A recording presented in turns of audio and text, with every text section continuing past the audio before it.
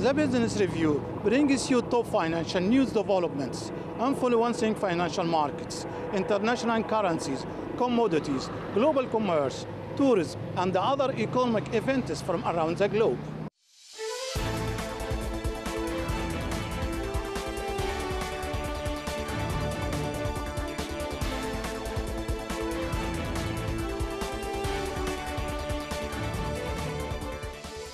UK's Finance Minister Rishi Sunak said that Britain will borrow almost £400 billion this year to pay for the massive coronavirus hit to its economy as the budget deficit jumps to its highest since World War II. Sunak said as he announced a one-year spending plan that the world's sixth biggest economy is now set to shrink by 11.3% in 2020, its biggest contraction since the early 70s 70s before growing by 5.5% in 2021, announcing the latest forecasts from the Office for Budget Responsibility or OBR, Sunak said public borrowing would be £394 billion in the 2020 through 2021 financial year that began in April, that was equivalent to 19% of gross domestic product the highest ever during peacetime and almost double its level after the global financial crisis, which took nearly a decade of unpopular spending cuts to work down.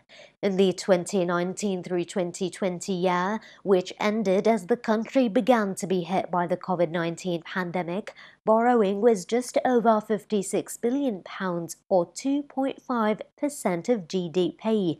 Britain's economy has been hit harder by the coronavirus pandemic than those of many other rich nations.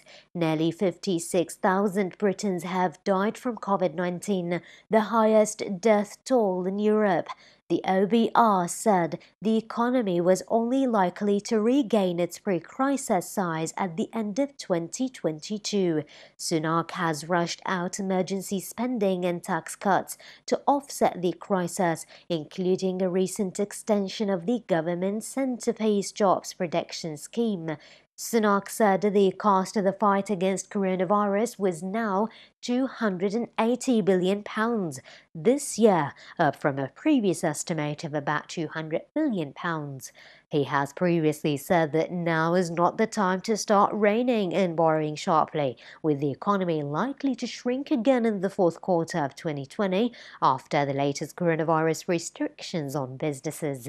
Over this year and next, day-to-day spending will rise in real terms by 3.8%, the fastest growth rate in 15 years, Sunak said, adding that £100 billion would be spent next year on longer-term investment £27 more than last year, but he signalled early moves to offset at least some of his spending by announcing a freeze on pay for most public sector workers, except doctors, nurses and other health staff. He also announced a reduction in Britain's foreign aid budget, reducing its current spending level of 0.7% of GDP to 0.5% for 2021. Britain is also facing the risk of a trade shock in less than six weeks' time, when its post-Brexit transition deal is due to expire. No new trade agreement has yet been reached with the European Union.